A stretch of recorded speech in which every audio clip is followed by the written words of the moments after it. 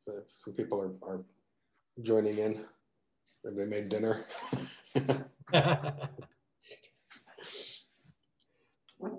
well, at a vampire festival, I wonder what dinner is, Jeff.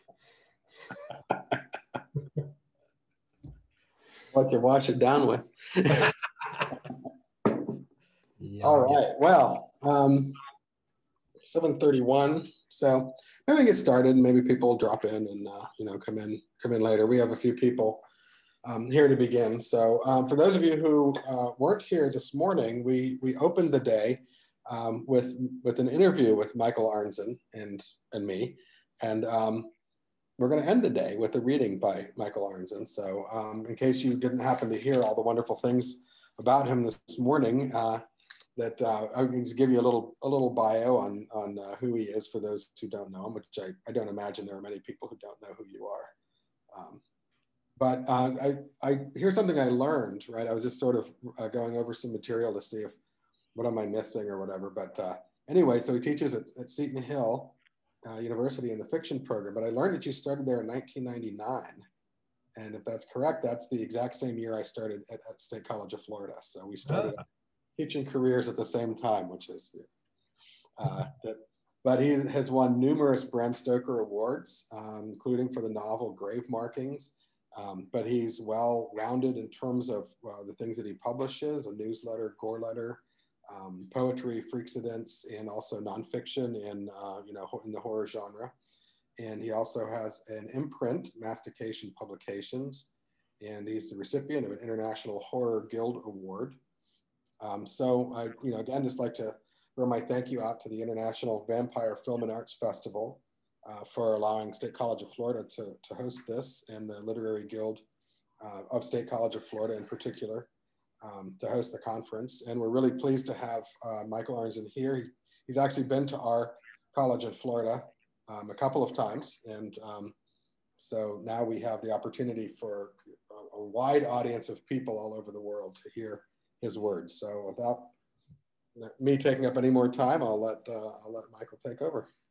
Wow, it's been a long time, Jeff. Thanks for that kind uh, introduction. Uh, and uh, welcome everybody who's come out tonight to listen to some vampire fiction. Um, you know, and uh, just, you know, as a preamble again, uh, thank you to the conference for inviting me to be a part of it once again. Working through Seton Hill University and our MFA program and writing popular fiction, we sponsored the academic track of the conference in Transylvania uh, for two years in a row, a couple years ago.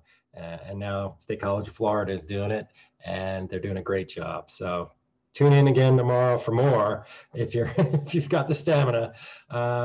Uh, but my intent is to slay you right now with some short fiction and poetry.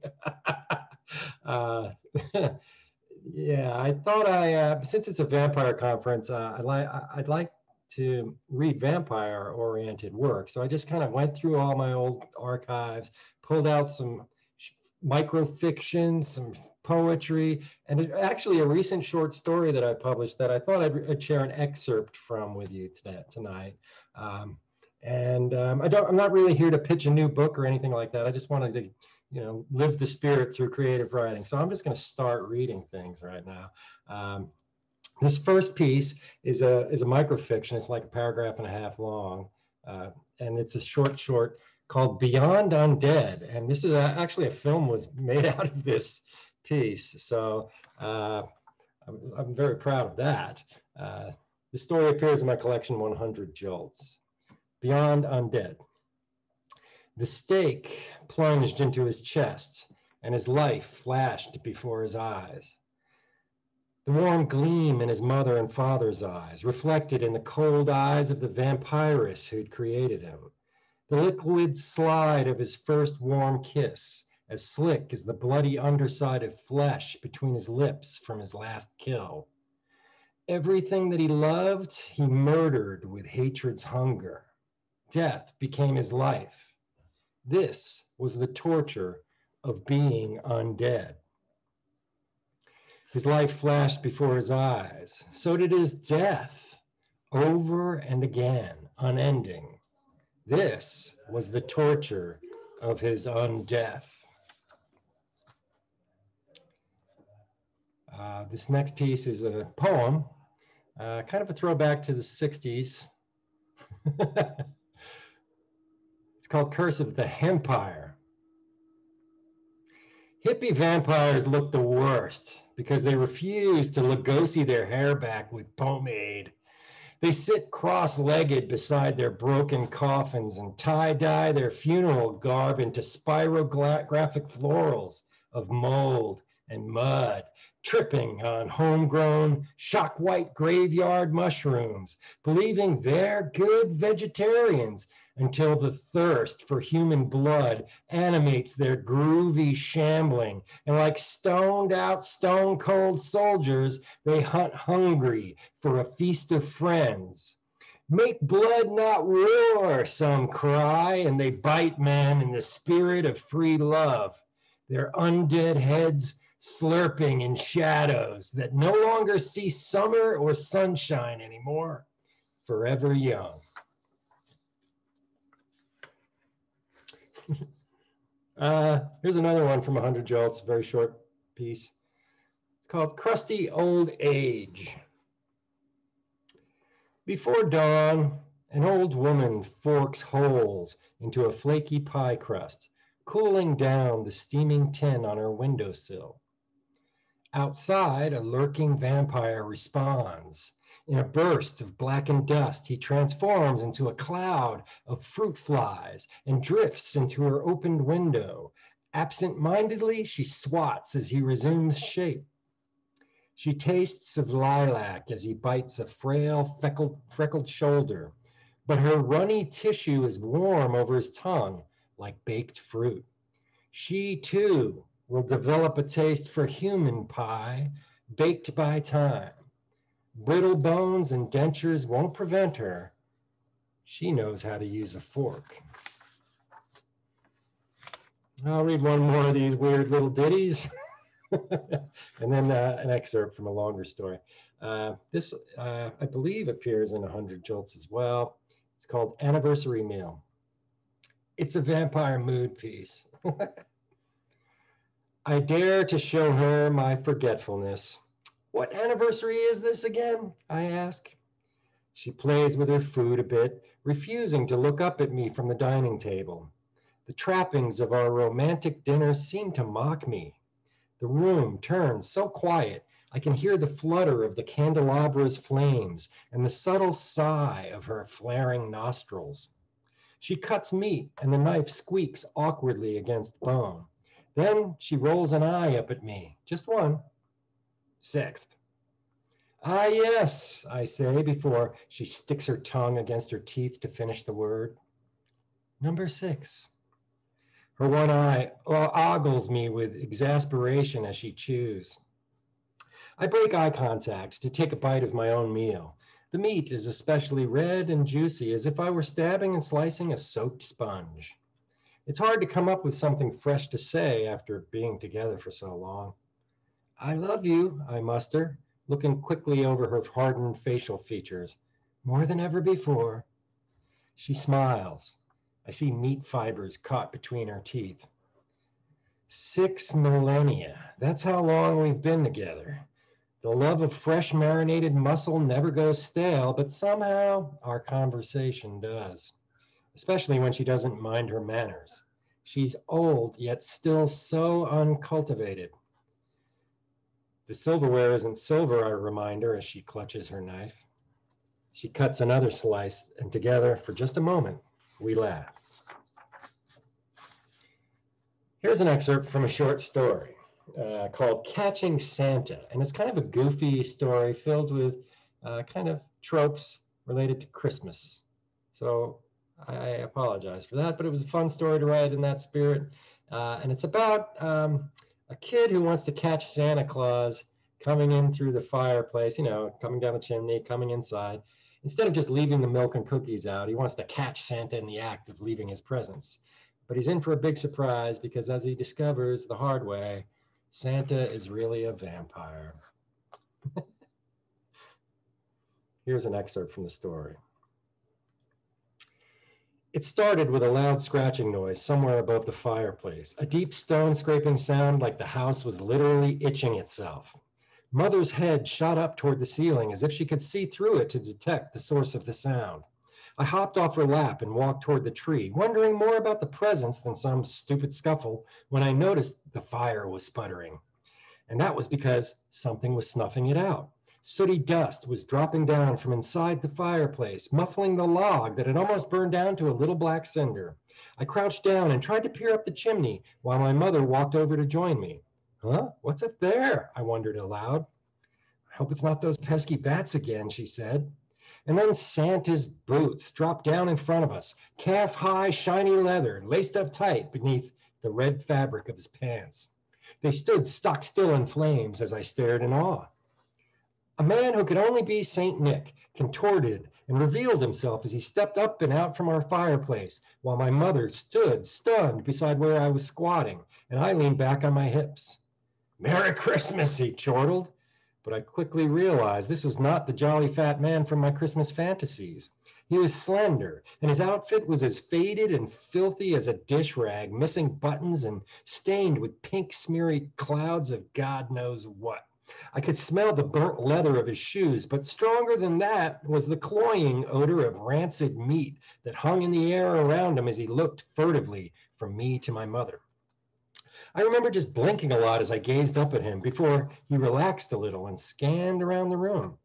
His face was not hairy with a beard, but gaunt and yellow, and his eyes were as beady as a rat's. Santa had no flowing locks beneath his cap either. There was some white hair, but they looked more like oily cotton strings pulled down from his hat here and there than anything attached to a scalp. Who the hell are you? Mom finally asked, putting a hand on my shoulder to pull me back a little from this strange Santa. His head snapped toward her, but he only answered with a smile as his eyes seemed to become solid as porcelain in their sockets. I was a little mesmerized by how amazing those eyes looked till I was distracted by the glint of his teeth reflecting the blinking Christmas tree lights. That glint made them look sharp and long as a lion's as he towered over me, eyes locked on my mother. She dropped her coffee mug, and it gurgled in itself empty on the floor by my foot. I pulled my attention away from Santa's fangs to look at my mother.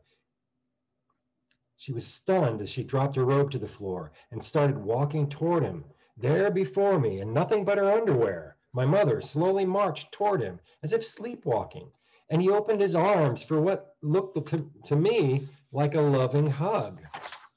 Mom? I asked softly, but she kept walking, and to my horror, he embraced her, pulling her flesh against his disgusting outfit. I noticed she lifted herself up a little bit on the balls of her feet as he clutched her, his greenish, gangly arms sliding down her waist, one hand going very low, broken claw nails dimpling into the cross-hatched pink underwear she wore. And then she leaned her head to one side as if baring her neck to him. Mom, I shouted, angry and wanting to do something, but somehow feeling like I was nailed to the floor as I crouched there on all fours. The ugly thing that was dressed as Santa Claus snarled over her shoulder at me, the top half of his mouth all teeth, gleaming with wet shine. And while his eyes dared me to speak again, I knew he was getting ready to chomp into her neck. And then suddenly I heard Dad's loud footsteps bounding down the stairs. I turned my head to call out to him, but he was already zooming across the room and tackling Santa before I could even open my mouth. The two of them fell back into the pile of my gifts, squashing boxes and tearing open packages as their bodies twisted and pummeled at each other. Santa's hat caught on a limb, and I saw more of his ugly hair for a quick moment, just tufts of thin white sprouting from random patches on his scalp, like he'd been losing it in clumps for years. His bulbous head was as lumpen as a broken skull, and the flesh had that same greenish tinge as his arms. It flailed as he snarled and struggled with my father. Dad threw an elbow under his chin, and the thing's flesh made a mudsliding sound in response. And I watched in terror as together they rolled against the Christmas tree. Needles showered down from above them, and as the glass ornaments rattled and the tree made reedy scratching sounds against my our paneling, I heard a crack, and then the tree's top snapped off the top and tumbled down. A chain light went out, and it got a little darker in the room as my father yanked the cord from the socket and appeared to be trying to lasso Santa's squirmy hands in front of him. Suddenly, my mother slumped to the floor, and her head audibly knocked against her fallen coffee cup. I rushed to her and immediately realized she hadn't fainted, but something worse. She was out cold. I, uh, then her body began convulsing on the floor as if someone else were controlling it. Blood was pouring out from the place where her neck settled onto the torso, which was all gore. Santa had torn the muscles of her shoulder right off the bone when I had turned away to call my dad. Now there was only torn meat and exposed bone and blood, so much blood, spreading and pooling on the floor to mix with her spilled coffee like some horrifying kind of creamer. Stunned, I looked again toward the tree and saw that father had somehow gotten his hands on the fallen treetop the hand carved cross that we had always used as the crowning glory of our decorated tree, and held it aloft over the fiendish imitation of Santa Claus. Its long bottom was tapered to a sharp point. His other hand had the beast pinned to the floor by the neck as it writhed beneath his strong grip. Its arms were lashed with Christmas light rope, and the green lines were actually steaming into his flesh, to my surprise, as were some of the broken ornaments that jounced around on his body. Then, in a flash, my dad brought the long end of the wooden cross down into the creature's chest. It burst right through his ribs as easy as a pencil through paper, impaling all the way down to the cross's wide arms. There was more steam, a black smoke that rose from his wound. The creature went silent and stiff, and it was only in that silent moment when I, all I could hear was my father's heavy breathing, the hiss of the steam, and the blood trickling from my mother's throat that I realized Santa had been growling like a wildcat most of the time they'd been wrestling. I think I'm going to stop there. But there's much more than meets the eye. We discover in the story that the dad is actually kind of a vampire slayer and has been doing this for many years. Uh, and that the son, the kid, the narrator of the story, actually is responsible for you know letting the right one in by wishing Santa would come visit every year. So it's an interesting kind of structure, I think. And uh, if you want to read more of that story, uh, it's in a book that it kind of went under the radar called Collected uh, Collected Horror Christmas Shorts, Volume Two. It's, avail- it's available on uh, Amazon.com, and it was edited by Kevin Kennedy. If you want to look for that book and find out more. Let's see, we got about 10 minutes left. I don't know if we want to do questions or I could read a couple more poems. What do you think, Jeff? It's whatever you're comfortable with. If, uh, if anyone has um, questions, um, you go ahead and type it into the chat and um, we can make sure that, um, you know, Michael gets those and I can present him those questions or we can uh, continue reading. or if you want to read and maybe the questions will come in. Okay, yeah, feel free to bring on the questions, folks. Uh, thanks for coming again. Uh, I'll, I'll, just read a couple more poems, and uh, if you don't have any questions, that's fine. We'll just uh, peace out. But uh, I love sharing this stuff with you guys. Um, so the poem on the top of my stack here is kind of a romantic or erotic poem, I suppose, but it's kind of silly at the same time. Uh, it's called Vampires and Perfume. Some vampires do wear cologne, gently spritzed around their macho gray shoulders and behind their greased back dead man's hair. It is not merely a lure to seduce the sentimental, but a gesture of kindness, a vapor to cling to while they nuzzle into the necks of their victims and tongue their torn jugulars, as well as a lingering odor after they transform and flit away. But these vampire men can never know and never will that the soily aroma of their omnipresent death can never truly be covered up by cloying oils and floral fragrance, or that the redolence of decay is precisely what makes them so fucking attractive.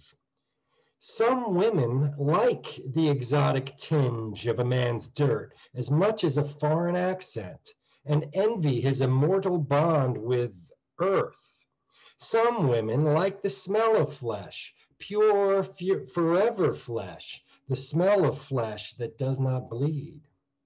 And these romantic vampire men understanding neither nature nor women, and lusting for blood more than beauty, lick the bare canted necks of their paramours, remembering life as they savor the false flavor that these women spritz there too before they bite into it, as if the finest perfume the world has to offer is simply seasoning.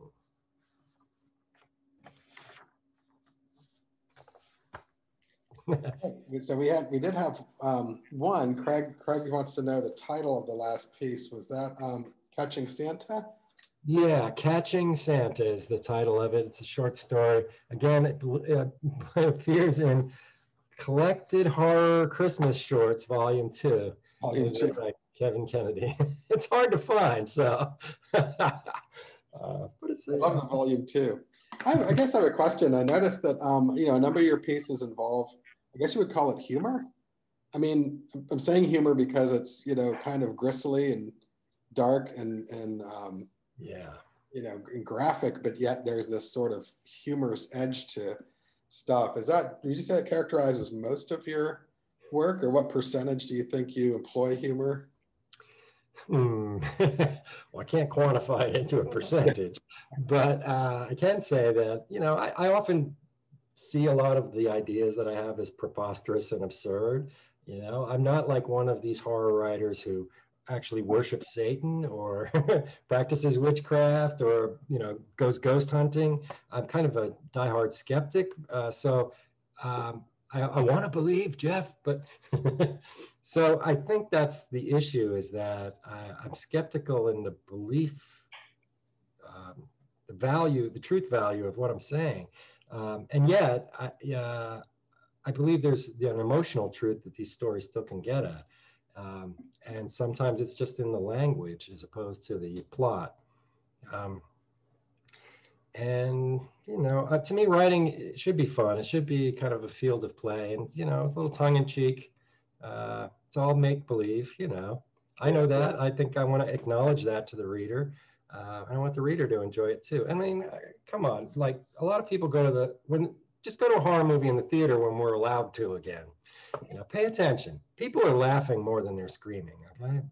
Yeah, I just I think that's you know it's an interesting kind of interplay between you know that that notion of sort of abject horror and and you know the gra- sort of a, you know graphic depictions or, or whatever you want to call them right and then on the other side of of that same story, like right under underneath that very line is this sort of lighthearted but an airy way of dealing with it too. So yeah, I mean, I don't want to be self-congratulatory about it, but I would like to believe I'm doing something in the tradition of Edgar Allan Poe, which is sort of, you know, he has an article called "The Imp of the Perverse," and that's like this kind of jester type of character that the, nar- the a narrator or a writer often will adopt uh, the subject position of like a dark jester jester who laughs at death and that kind of thing or you know cackles in the face of torment and pain.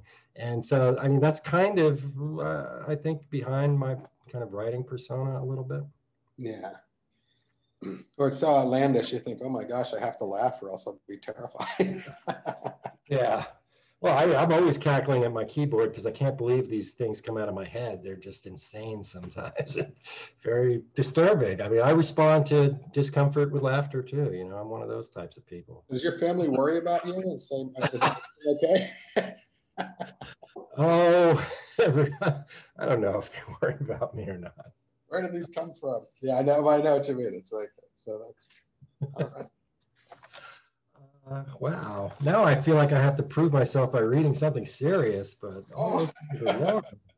no, I like it. I like it. I was saying, I, I, I, think that's really a kind of a, you know, an art form of it in, of its own right is to be able to to balance this sort of humorous kind of kind of workaround in in such you know, subjects where you wouldn't expect to really find the humor, you know, and. Uh, and so, yeah, maybe you're onto something there with the unexpectedness of it. Uh, you know uh, that's part of the genre it's part of what i lo- enjoy is a surprise moment you know maybe a gore where you don't expect it just suddenly a blade comes out of nowhere in a movie and someone's head falls back like whoa you know catches you puts you back on your heels uh, and laughing is kind of a way of kind of making up to the catching up to that uh, Yeah, and you're right. It is something to balance. I think as a writer, it comes down to making sure that you haven't violated some sense of trust that your reader is putting into you to tell the story.